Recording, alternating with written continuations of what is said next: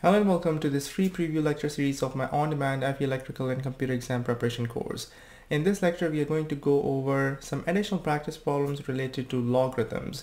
I've created this lecture for my students who are enrolled in my on-demand FE Electrical and Computer Exam Preparation course to help them get some additional practice related to logarithms because logarithms is one of those topics that you might be tempted to just use and use a calculator and rely on your calculator which is fine but you need to know the basics you need to know the identities and the rules and laws around logarithm. Because if a problem is asked with some variables it may not be that simple and straightforward. And that's what we're going to do in this lecture. We're going to start with some of the easy problems and make our way to some of the more difficult practice problems. But before we dive into the content, I would really appreciate if you could like this video and subscribe to the channel if you haven't already done so.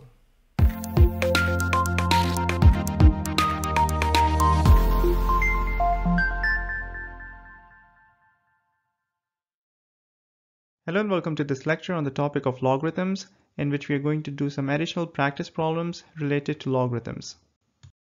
In the previous lecture, we discussed how logarithmic functions are basically inverse to an exponential function and logarithms can have different base. Logarithm with a base 10 is called a common log and logarithms with base e are called the natural log. e is a constant and has a value of roughly 2.718 I believe.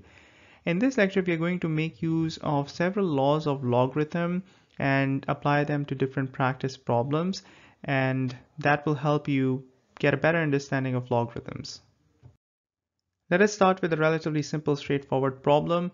I recommend that you go ahead and solve each and every one of these problems on your own and then see how I go about solving the problems. So in problem number one, we are being asked to solve the logarithmic equation and basically when it says that solve the logarithmic equation, you're basically solving it for the unknown variable and the unknown variable in this case is x. In order to solve this problem, we are going to make use of this law of logarithm it is basically telling us that when we have a log with a base b and we're taking the log of x and it is equal to a constant, we can actually convert this into an exponential form. And what I've basically done over here is that I've raised b to the power of c. Okay, so you take the base and raise it to the power of the, uh, raise it to the constant on the right hand side of the equation, it becomes b raised to power c and that is equal to x. So this is what we are going to deploy in this given problem. So according to the problem statement, we have log base 3 of x minus 4, which is equal to 4. So what we can do is that we can raise the base to the power of this constant, and that's what I'm doing over here, 3 raised to power 4, and then this is left on the left hand side. Okay, x minus 4, whatever you're taking the log of, remains on the left hand side. So we have x minus 4 which is now equal to 3 raised to power 4. The next two steps are pure math. So we have x minus 4 equal to 3 raised to power 4 which means x is equal to 3 raised to power 4 plus 4 and that gives us the value of x equal to 85. Let us now take a look at another practice problem. In this problem, we are being asked to solve the logarithmic equation. We have a log base 2 on the left hand side and a log base 2 on the right hand side and we are taking the log of x squared minus 2x on the left hand side and the log of 5x minus 12 on the right hand side. In this case we are going to make use of this property of logarithm that when we have log base a of x equal to log base a of y that would basically mean that your x is equal to y because both the bases are the same and you're taking logarithm on both left hand side and the right hand side. The other way to look at it is that we can take anti-log on both left hand side and right hand side and that would basically cancel out the logarithms and you're left with x equal to y. So similarly when we take anti-logs on left hand side and right hand side we are simply left with x squared minus 2x on the left hand side and 5x minus 12 on the right hand side and this becomes a simple quadratic equation. When you solve this quadratic equation you end up with two possible values of x. So the first value is 3 and the second value is 4. It is always a good practice to substitute your answers back into the logarithm to verify them. And there are two reasons for doing that. We want to make sure that whatever answers that we have obtained for our value of x would make sense for the given um, expression. That's one. And the second thing is that any answer that results in a logarithm of a zero or a negative number is not a valid answer. So you have to discard that. So let's see what happens in this case. So we have x equal to 3. I substitute x equal to 3 in this equation on the left hand side and the right hand side and I end up with log base 2 of 3 on the left hand side and log base 2 of 3 on the right hand side. So since our left hand side is equal to right hand side and this does not involve us taking either a log base 2 of a 0 or a negative number, that basically means that x is equal to 3 is a valid logarithmic answer, valid solution for this particular logarithmic expression. And we can do the same thing for x equal to 4. When you substitute x equal to 4 in the left hand side of the equation and the right hand side of the equation, you're going to end up with log base 2 of 8 on the left hand side and log base 2 of 8 on the right hand side. Since your left hand side is equal to right hand side, this is a valid solution.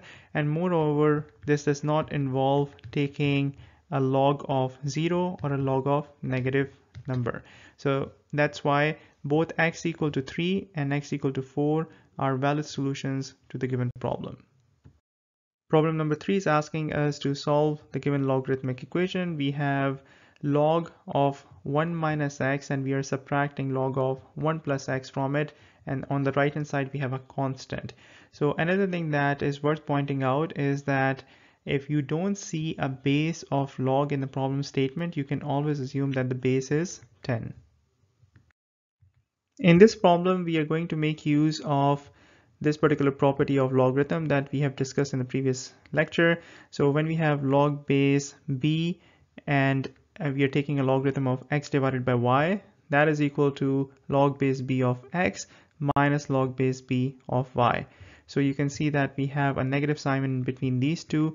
I can convert that into a division. So this can be translated into log of 1 minus x divided by 1 plus x and then since I have a base of 10 over here I can use the property that we discussed in problem number one.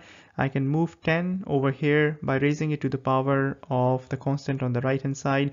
So this becomes 10 raised to power 2 and I'm left with 1 minus x divided by 1 plus x. So 10 raised to power 2 is equal to 100 and when you solve this equation for x you will end up with the value of x equal to minus 99 divided by 101 as I mentioned earlier, it's always a good practice to substitute your answer back into the original expression. So we ended up with x equal to minus 99 divided by 101. So when I substitute this value of x in here and I solve this, I'm going to end up with log 200 divided by 2. That basically means that I'm dealing with a log base 10 of 100 and that is equal to 2. Now you can see that this 2 is basically your left hand side is equal to the right hand side which is also 2 so this basically means that x is equal to minus 99 divided by 101 is a correct answer for this particular logarithmic value.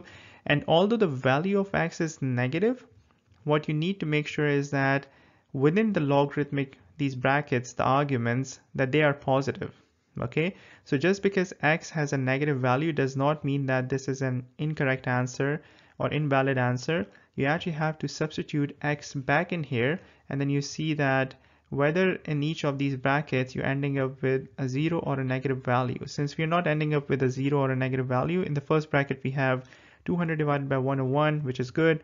In the second bracket we have 2 divided by 101, which is also a positive number, so that's good. And that basically means that this is a valid answer. And moreover, your left hand side is equal to your right hand side. So this is a valid solution. Let us now take a look at practice problem number four. We are being asked to solve this logarithmic equation. We have log base 3 of x plus 25 minus log base 3 of x minus 1 and on the right hand side we have 3. In order to solve this problem we can again make use of the same property of logarithm that we discussed in problem number 3 log base b of x divided by y is equal to log base b of x minus log, log base b of y so in this case, we have log base 3 of x plus 25, which uh, from which we are subtracting log base 3 of x minus 1. So that basically becomes x plus 25 divided by x minus 1 log base 3 on the left hand side. So I can raise this base, which is 3, to the constant on the right hand side, which is 3. And when I do that, I end up with x plus 25 divided by x minus 1 equal to 3 raised to the power 3, which is 27. And now I have a simple linear equation which I can solve for x, and I'll end up with a value of 2. As always, we verify our answer by substituting the value of x in the original logarithmic expression, and then you're going to end up with log base 3 of 27 minus log base 3 of 1. Log base 3 of 1 is equal to 0 log base 3 of uh, 27 is equal to 3 so the left hand side of your equation is 3 and when you compare it to the right hand side of your equation that is also 3 so we are good there. Moreover we did not end up taking log of any 0 or negative value. So that basically means that x equal to 2 is a valid answer Problem number five is interesting because it does not directly involve logarithms, it involves exponentials. And going back to our earlier discussion, logarithms can be considered as an inverse of exponentials. So whenever we have a variable that is ending up in the exponential, the best way to solve such type of problems is to use logarithm as we will do in this problem. So we can take logarithm on both left and right hand side of the equation. So when we take the logarithm on the left hand side and the right hand side, we can make use of this property of logarithm, which says that whenever we have a log base b of x, which is raised to a constant, we can actually move this constant over as we saw in the previous lecture, and this becomes c times log base b of x. So when I do this to the left hand side, you can see that this exponent can be moved over. It doesn't necessarily have to be a constant, it can be an exponent. So when I move the exponent over, I have 2x plus 1. Now it's being multiplied with log uh, of 3 and then I have x minus 2 which was over here. I move it over and then it's being multiplied with log of 2. I've taken a common log which has a base 10. You can take any log. It doesn't matter what base it is. The answer is still going to work out the same and log base 10 of 3 is 0.47712 log base 10 of 2 is 0.301 you could have taken a natural log as well because it will work out the same on both left and right hand side of the equation so it doesn't matter as long as you're taking the log okay and properly using these properties so now it is a little bit messy because I have these decimal points on the left hand side and the right hand side. When you go about solving this equation and do the math, you're going to end up with a value of x equal to minus 1.65. So one of the steps that I skipped in the last problem was that I did not substitute x equal to minus 1.65 into the original equation. You can substitute in the original equation and then you will see that the left hand side would be equal to the right hand side. Let's move on to problem number six. In this problem, we are being asked to solve this equation. And again, you can see that the unknown, which is x, is actually appearing in the exponent. So whenever the unknown variable is appearing in the exponent, the first thing that you should think of is logarithm. Over here, e is basically a constant and the equation is e raised to the power 2x minus 2 times e raised to the power x and on the right hand side also we have a constant. So these are the steps that we are going to go through for this practice problem in order to solve it. Um, you got to be a little bit careful and I explained this later. I ended up making a mistake in the original solution. So we have e raised to power 2x as I mentioned minus 2 times e raised to power x equal to 15. So we have to do a substitution over here. We'll assume that e raised to power x is equal to y and e raised to power 2x is equal to y squared. So when you substitute these values, it becomes a quadratic equation. And then you solve for this quadratic equation and you end up with y is equal to 5 or y is equal to minus 3. We know that our y is equal to e raised to power x.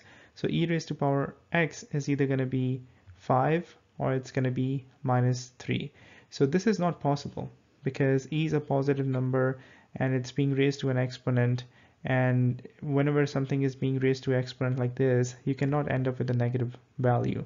So the valid solution over here is e raised to power x equal to 5 so we are left with e raised to power x is equal to 5 now this is pretty simple. I'm going to take natural log on both sides. As I mentioned earlier I'm taking natural log because we're dealing with e and it will help us with our calculations. So ln of e raised to power x is equal to ln of 5 I'm just going to bring x over here as we've seen in the previous problems.